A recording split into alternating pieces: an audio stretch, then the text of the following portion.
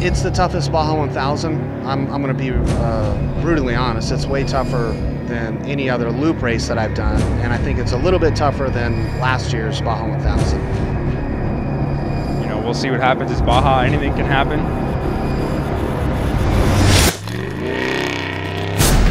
As they always say, you know, this one's the hardest Baja ever, but actually, it, it's true. Eh, pues voy solo, vamos a hacer más o menos aproximadamente como 29 horas. The course is uh, by far the roughest course, roughest thousand that I've ever been a part of. It's not going to go to the fastest driver out here today, it's going to go to the smartest. It's awesome and uh, it's the ultimate adventure. It's the Baja 1000's the, the grand finale for us. It's the biggest race and uh, the most important race.